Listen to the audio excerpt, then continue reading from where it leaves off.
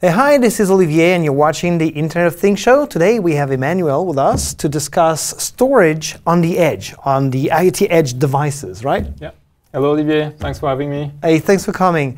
So, why is it so important to actually be able to store data on devices in an IoT scenario?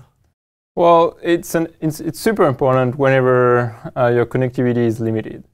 Uh, but so first, before discussing uh, SQL storage, I would like just to do a quick recap um, of the options that are already available out of the box with Azure IoT Edge Runtime. Okay, in terms in of terms of storage. storing data. Yeah, okay, yeah. got it. Uh, so you've got two storage options out of the box. One is a sto store and forward option. Okay. So when you send telemetry to the cloud um, through Edge Hub, Okay. um, the Edge Hub will take care of persisting those messages while the connectivity is down Mhm. and of sending all those messages as soon as the connectivity is back up. Okay. And the second mechanism is uh, the storage storage um, mechanism is a twin. Okay. Um, so through the twin, you can um, use it to to um, download some pretty lightweight configuration data. Okay. Uh, so whenever you want to tell to, to track where a device is, like a device is in in uh, one building, in one location, in one Mhm. room, then for this type of configuration data, twins are perfect. Okay. And as soon as you need something more advanced than that for your storage needs, uh, then you should bring your own um, storage solutions. Okay. And that's what we'll look at today. Okay. And uh, SQL Server is a, is a great option for that. Okay. Uh, so it comes in several flavors, SQL Server Enterprise, SQL Server Express, uh, and actually the same steps would also work with other relational databases like MySQL or Okay. PostgreSQL. And so you bring that storage solution as a module in your IoT Edge solution, right? Correct, correct. Okay. That's what we'll see, yeah. Okay. Well, you want to show us? Yeah. Um, yeah, maybe uh, just to summarize some use cases on, on how Oh, to yeah. use SQL um, Server at Okay, the edge. yeah, yeah. Uh, so, uh, so I'll give you three, three examples. So one is to store time series data uh, Mhm. at the edge. Mhm. Uh, so the oil and gas industry does that a lot. And Okay. they want they, they often often are in remote uh, locations Okay. and want to store and visualize their time series data uh, while locally. offline. Locally, While yeah. offline. Okay. Uh, in the agriculture space, that's another example uh, where they want to. Um, farms are pretty often often have a limited connection as well, and they want to keep all the application data local, Okay. so that farmers could uh, see maps of their fields Mhm. locally, enhanced with all the data from their sensors. okay. And, and the last one maybe is a black box scenario Mhm. where uh, whenever um, complex piece of equipment fails, um, you you to be able to diagnose this one, Yeah. a typical pattern is to have a black box uh, Mm. that Like keeps all the like like, Like for airplanes okay. or connected cars Mhm. or in oil and gas. That's also pretty widely used. And so to keep like a sliding window of all the telemetry um, being recorded by those equipments, Okay. uh, so that whenever it fails, you can really deep dive into what happened. Okay. Makes sense. All right. Yeah. Awesome. Um, so let's uh, look at how this works. Yep. Uh, so let's imagine that we've got some telemetry um, data being sent by some equipment here. Okay. And so our telemetry module uh, gets all this telemetry and sends it to another uh, module, okay. an Azure function here, uh, that, that has all the business logic. Okay. And so one thing that we're, we're doing in this demo is using this Azure function to structure the data and prepare it to send it to a relational database. Okay. So format it into some tables and columns. yeah, so you have right? raw data, time stamped, coming from the devices. You bring it and say, okay, I need to store that in my relational database here locally, Yeah. right? and the function does that. Okay. Correct, correct. Uh, another pattern that I'd like to mention is the communication pattern between our Azure function and a certain module with our, our SQL database.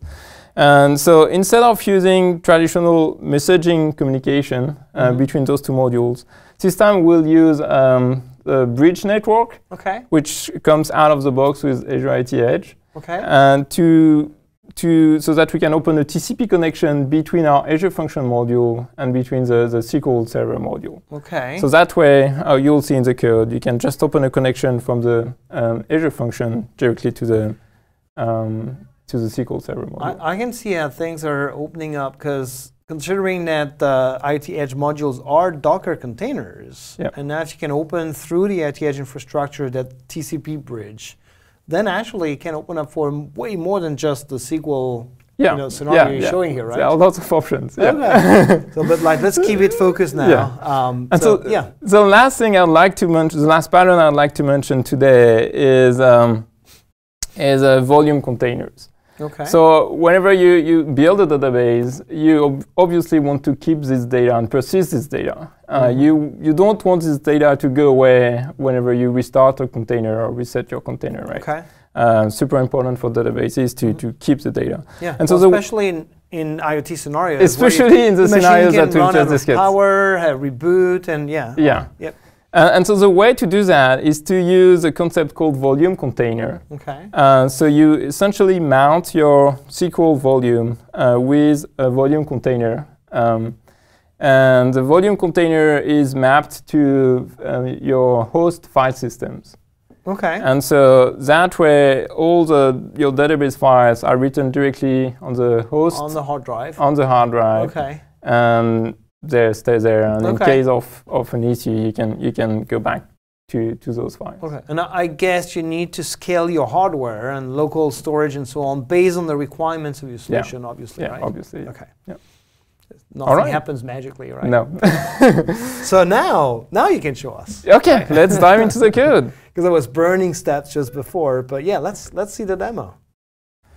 All right, so I'm starting from the Azure Function tutorial. Okay. Uh, so what I have running here For IoT Edge. So for IoT Edge, running an Azure function on IoT Edge, step by step. That's all documented, and that's where you started. Okay. Yeah. Good. Got it. and so here on the, I, I love this uh, Docker extension here because I can see all my Docker containers running on this machine. Okay. Cool. And so, so- that's the local instance of IoT Edge running on your on your device right now. Yes, Okay. and so I've got four containers: two uh, the Edge Hub and the Edge Run and the um, Agent? Edge Agent, which uh, makes the Azure IoT Edge runtime, and one uh, module that simulates uh, telemetry, Okay. the our temp sensor module. Yeah, That's the one that comes in the tutorial by default. Yeah, in all our tutorials. Yeah. And uh, the Azure function from the tutorial as well. So let's Good. see. So far, so good. Um, let's see in a command line um, the data that it is sending.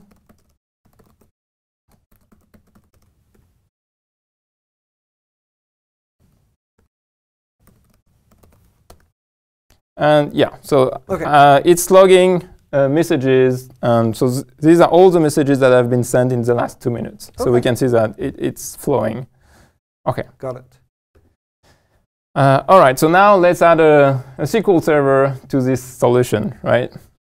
Uh, so I'll look, here's my Azure function code. Actually, I'll close this. Um, and what I'll do is I'll add some code here. And what this code does is uh, it, it has a um, connection string to open a connection with our SQL Server module. Okay. Uh, one thing to note here is that you don't need to refer it to uh, through an IP. You can just use my module name or your container name. Okay. So in our case, I'll call it SQL. Mm-hmm. And so that's convenient because then you don't need to deal with uh, what is the IP of my module. And, you- Mm, and Docker takes care of the name resolution for you. So Okay. that, that's pretty handy. nice. Yeah. So I'm opening up a SQL connection here, and then um, from I'm parsing the temperature data from uh, the, my message coming okay. in, Okay, which is Uh, JSON, right? JSON, JSON coming yeah. in. same as uh, these are tutorials. Okay. And then I'm inserting. I've got some insert statement here Mm-hmm. uh, that will insert this data into my my SQL database. Okay. All right. So pretty simple, Pretty straightforward. pretty straightforward. Yeah. Okay. All right. So let's uh, build our container. All right. Pick the location. So Pick the location. yeah, and then you pick the the registry you're going to push it to, right? Yes. Like if I remember correctly, my I, Yeah. did, my I did my homework. Yeah. Awesome. Okay, it's built. I'm pushing it with the tag with SQL. Okay. Yeah, we see everything happening live. All right, so now we've got our Azure function container ready in our uh, container registry in the cloud. And we'll deploy this container to our edge device. Okay. All right. Um, so here's our here's the deployment file from the Azure function tutorial. Okay. Uh, but we'll uh, add a couple modules to it. And Okay. so we'll add um, SQL module. Okay. So you're doing that in JSON directly from here. Some Yes. could do that in the Azure portal. The other option is to go to the portal Yeah. um, but uh, you're and do it from hardcore, you prefer doing that in JSON, like that. Well, it, it's uh, I found it easier in my for my developer workflow when Yep. you need to iterate and try several things. Okay. Um, so here I've got my Azure function as well. And so things that I like to point out here are the, the create options that we're using uh, when, when creating our SQL container. And the interesting piece is uh, this mount option here. Okay. And so what it says is that it says create a volume container that Mhm. is named SQL volume. Um, on and that is mapped to uh, this path on the On host OS. Okay. So And that's how you, you, you create your persistence layer got it. um, okay. for your, your database. So it's just a configuration of the module of the Docker container actually uh, for SQL that that when it mounts actually sets that bridge or that connection. Love it. Okay. All right, so now let's um, deploy uh, to my SQL on Edge Yeah. device. I like the way you're using the uh, IoT Edge extension for VS Code Yes, to do all the work of interacting with IoT Hub actually. Yeah. It's awesome. find it really convenient. Let's restart as well. It's part of our deployment process. Yep. And, and so yeah, I use those those extensions all the time. Here, this is a IoT Edge extension Yeah. that lists all my devices connected to my IoT hub, Mm-hmm. um, and that lists all the containers running on, on a particular device. Nice. And you use the uh, Docker one to really like focus on the Docker aspects of things. Yeah. I love that. Yeah, I usually do a right click on the Docker container to see logs that appear in VS Code. Super practical. Hey, you're done already. And I'm done already, and we can see the, the red dots becoming turning green here. Uh, so meaning that all the containers are soon uh, all up and running. Nice. One more to go. Um, and here we go. Here we go. All right. So Uh, now in theory, if I followed, you have your temp sensor creating data. You have the Azure function is now taking that data and pushing that into the SQL database Correct. that is local on your edge Correct. device. Okay. the only piece missing now is we need to create an actual database and create a table uh, in our SQL server. Because Okay. now what we've done is just uh, um, creating a, a blank SQL server, right? And you need to configure it um, to put your data into your Okay, relational database. Okay. Okay. So that's what we'll be doing right now. All right. Uh, so the way I'll be doing this is I'll be opening a command line and we'll connect to my SQL container. So we have a tutorial, like the one you're looking into right now, is an online tutorial on for Yes. IoT Edge that describes how to do that, right? So people who are watching this video can then go there and, and do it themselves. Yeah. Okay. And so what I'm doing is uh, opening a, a, a bash command on my SQL container Okay. so that I can run the SQL command tool that Mhm. comes with the SQL uh, server. And now uh, I can create my database through this SQL command tool. Okay. Uh, it's a bit painful to copy paste, but stay with me. I'm here, not moving. All right. Uh, ah, sorry. let's, let's try again.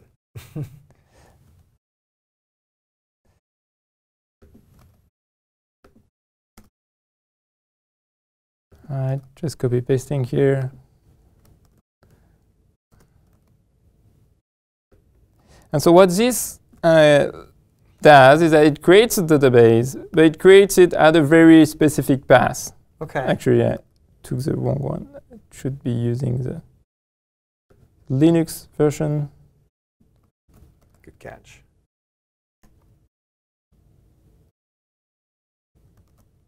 And that's related to your connection to the mounted volume, right? Yes. Okay.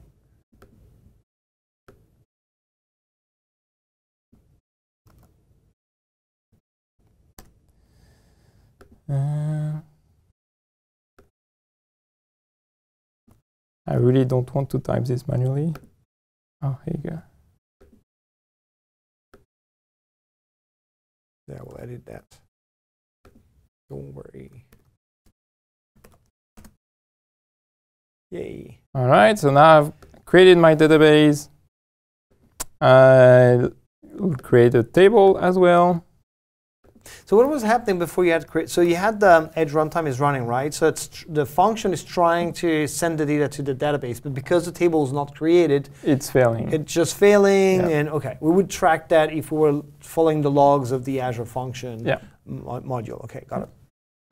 creating my table here. Um, so now let's see. So in theory, In theory, crossing fingers, knocking wood. let's see. Yeah. So now all the, the data being sent from our Azure function to the SQL database should go directly in the, into the table that we've just created. okay, So let's look. Let's query this table and see if it has any data. okay. Going to roll some drum.